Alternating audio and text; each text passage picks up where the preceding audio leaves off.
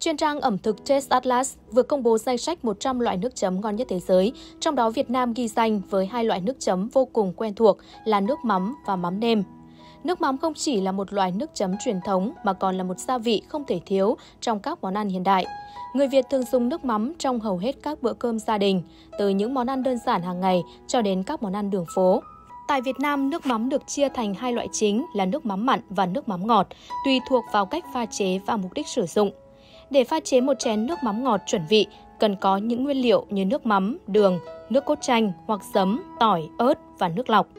Dù các nguyên liệu này tương đối đơn giản, nhưng mỗi gia đình có thể tạo ra hương vị đặc trưng riêng bằng cách cân chỉnh tỷ lệ và phương pháp pha chế.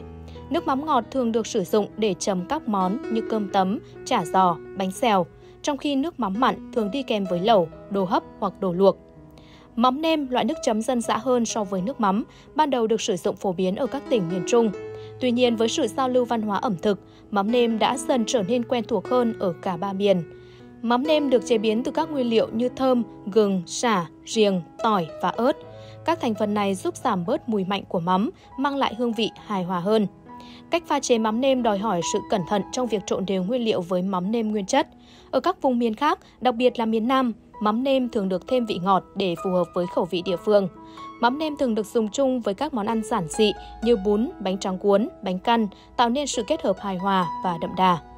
Việc nước mắm và mắm nêm lọt vào danh sách 100 loại nước chấm ngon nhất thế giới là minh chứng cho sức hút của ẩm thực Việt Nam trên bản đồ ẩm thực toàn cầu.